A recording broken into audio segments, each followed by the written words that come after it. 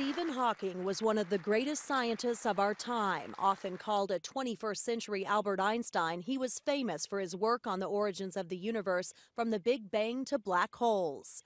Diagnosed with Lou Gehrig's disease as a young man, he was confined to a wheelchair and spoke through a computer. But Hawking was living proof people could overcome even the greatest obstacles. For me, it is quite an achievement. I never thought I would get so far. His 1988 book, A Brief History of Time, became a bestseller and made him an unlikely international celebrity. and a cameo on The Simpsons Stephen Hawking brought him greater fame.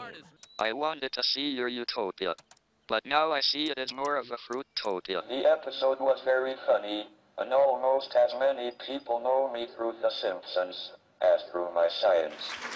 President Obama awarded Hawking the Medal of Freedom in 2009 for pushing the boundaries of science. Professor Stephen Hawking was a brilliant man and a mediocre student.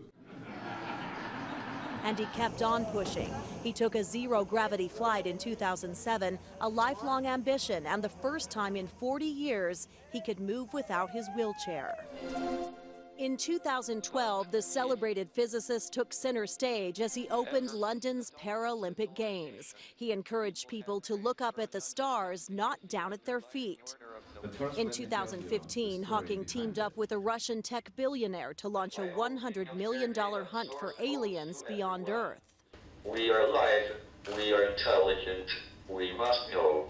An authority on the past and the future, Hawking will be remembered for his brilliant mind and fierce determination. Tina Kraus, CBS News.